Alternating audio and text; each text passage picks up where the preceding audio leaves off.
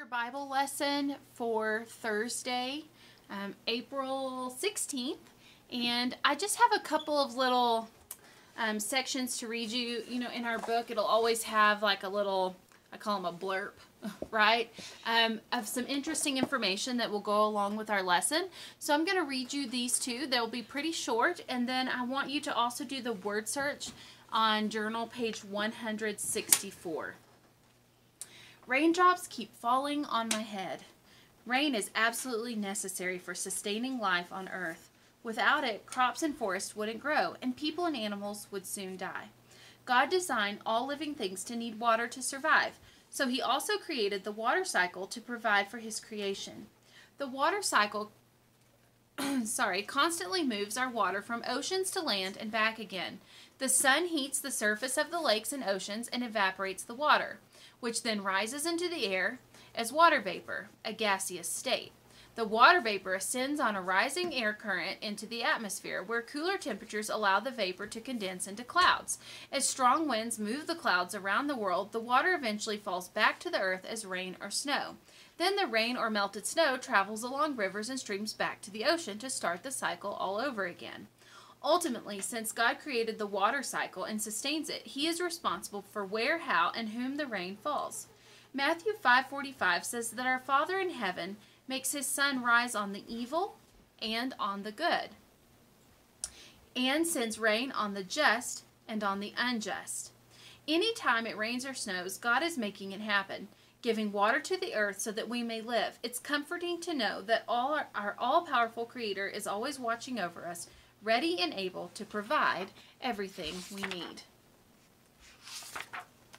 Okay, and then the next one is it's called popping off about corn. Okay? What are you doing? Here you go.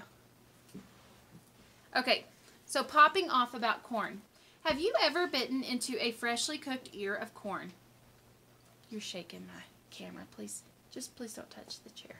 Okay, Popping off about corn. Have you ever bitten into a freshly cooked ear of corn, drizzled with butter and salt? It's one of the best parts of summer. But do you know how important corn is around the world? Each year, more corn is grown worldwide than either rice or wheat. About 800 million metric tons of corn.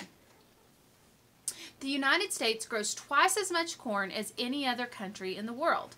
In fact, corn has been growing in North and South America since before Columbus even arrived. Archaeologists have even found ears of corn in the America that are over 5,000 years old. Corn is popular because there are so many things you can do with it. Try thinking of all the ways corn can be prepared, like cornmeal mush, grits, cornbread, popcorn, Corn can also be made into cooking oil, corn syrup, corn starch to thicken sauces. Corn is also used to feed farm animals, including cows, pigs, and chickens. Now people are even finding ways to use corn instead of gasoline to power their cars. So why don't you try growing corn yourself? This experiment can take several weeks, so be prepared to be patient. But I thought this one would be a really fun one for you to read and try into Marco Polo if you want to give it a go. Be sure and let me know. So, what you need is corn seeds, which you can get at a local supply store like Ace, okay, or Murdoch's, um, a plastic sandwich bag, and paper towels. So dampen the paper towels and place them inside the bag. Put a few corn seeds inside too, making sure each seed is pointing down. The roots will grow out of the pointed end, not the flat end. Then seal the bag, place it in a sunny window, and wait for the seeds to sprout. Check each day that the towels are still damp. When the seeds have sprouted, you can even transplant them into a garden. From planting to harvest takes 55 to 95 days depending on the variety of corn and to some extent the weather. Your corn is ready to harvest when the kernels are soft and plump and their juice is milky. So this is the perfect time to start a seed. And um, of course, it would be fun to do this at school together and then take them home and plant them in our gardens. But even if you don't have a garden, you can use a pot like your mom um, would put flowers in, okay?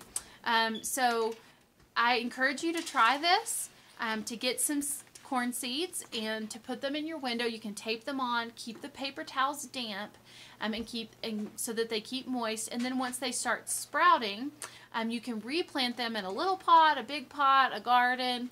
Um, and I love to see our corn plants grow. I actually did this a couple years ago, and I got two ears of corn. So not a whole lot of corn, but it was really fun to grow corn and to get to eat the corn that I grew. So I encourage you to do that. It would be really fun. And if you have a place out even on your front porch patio, you can grow a stalk of corn.